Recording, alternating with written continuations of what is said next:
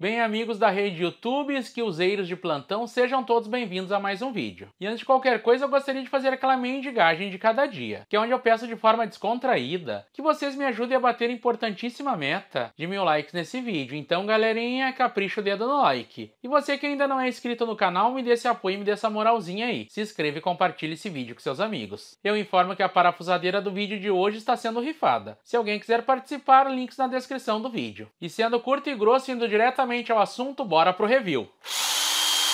Então, ferramenteiros, o produtinho bem varonil que vamos conhecer hoje é a nova parafusadeira bateria 20V da marca Skill. Skill essa que não tem nada a ver com a Bosch, pois quem é o dono é o grupo chinês Chervon. Mas se você quiser saber um pouquinho mais sobre o assunto, eu recomendo que assista o vídeo da irmã dela, a Skill 12V, pois lá eu falo um pouquinho mais sobre o assunto. A Skill da Chervon não é comercializada oficialmente aqui no Brasil, então só podemos adquirir ela por importação. Mas se alguém tiver interesse em comprar, tem link para compra na descrição do vídeo vídeo no site parceiraça aqui do canal, Interlevel BR. E o preço total que foi pago nela foi R$ 1.300. E agora eu deixo um alerta a vocês sobre a bateria dela. Aqui temos a bateria da Skill PWR Core ou Power Core, que é nada mais nada menos que uma alusão à bateria da Bosch. E assim pegando os desavisados no contrapé, pois eu digo a vocês que elas não são parecidas nem de longe. Então só para resumir a grosso modo, a bateria Procore da Bosch usa células de lítio 21700, que são células muito poderosas, com taxa de descarga mais alta do mercado. E a Skill não usa essas células, ainda continua usando a convencional 18650, onde as descargas mais altas chegam na metade da 21700. Inclusive, na hora de imitar a bateria da Bosch, a Skill levou sério o negócio. Ela fez uma bateria de 2A bem mais robusta para parecer que ali dentro tem a célula 21700, pois para quem não sabe, a célula 21700 é um pouco maior do que a 18650. Só para a gente entender, o 18 ou 21 é o diâmetro e o 21700 ou 650 é o comprimento. E ela posicionou as células em ângulo, assim como a Bosch faz. Mas como eu costumo dizer, se for imitar algo, que seja algo bom, aí eu acho válido. Então não dá para negar que a Skill até que mandou bem. Então diante de todas as baterias 18650 que já passou aqui pelo canal, achei essa Skill uma das melhores da categoria, independente da marca. E eu abri as duas baterias da Skill, tanto de 12 quanto de 20 volts. E o que eu vi dentro acabou me impressionando, pois tem uma placa BMS bem robusta, células de lítio de um grande fabricante, no caso a Samsung, classificada como INR, ou seja, de alta performance, com a descarga máxima de 22 A,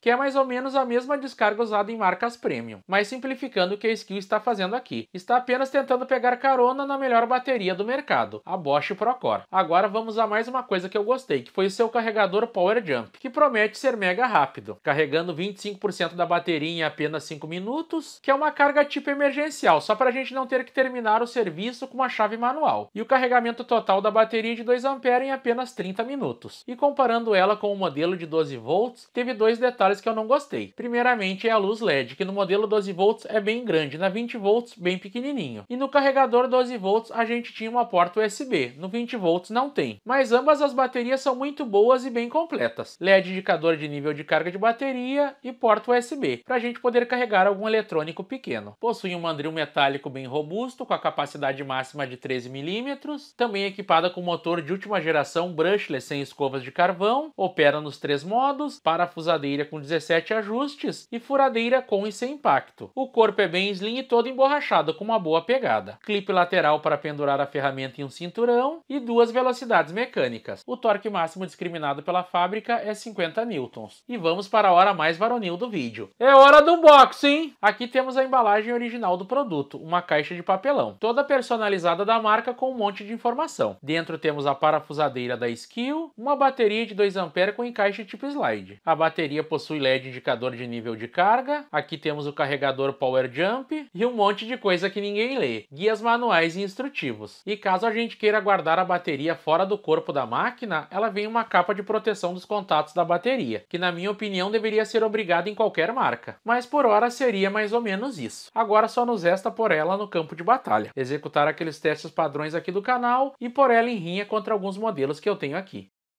Parafusamento sem pré-furo, parafuso 120mm por 7.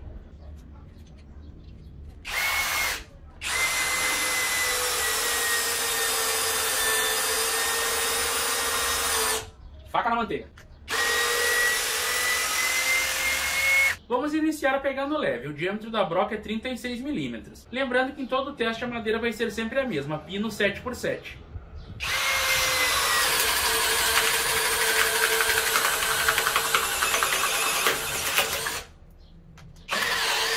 Agora dando aquela extrapolada de cada dia. O diâmetro da broca é 46 milímetros.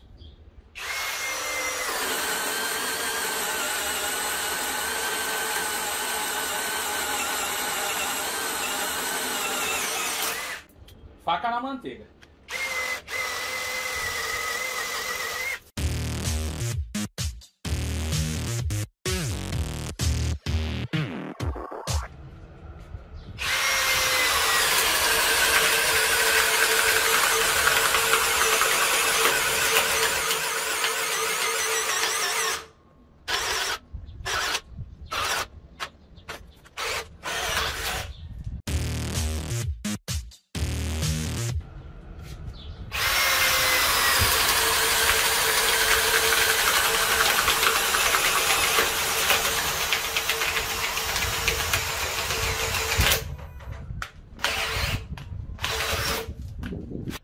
Perfurando ferro agora. A espessura da chapa é 2 mm e o diâmetro da broca é 7 mm.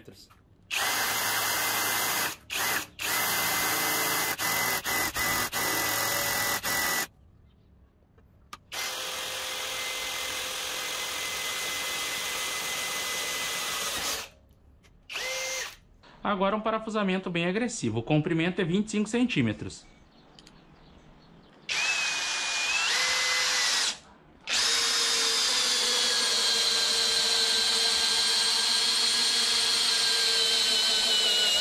Faca na manteiga. Perfurando um bloco de concreto vazado, o diâmetro da broca é 13 milímetros.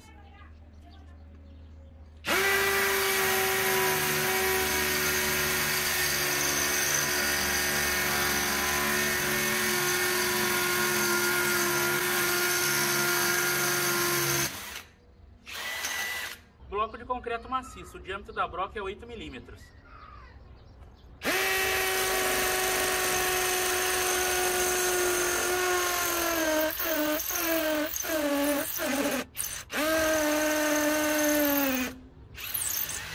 Agora vamos checar o consumo da bateria dentro da performance.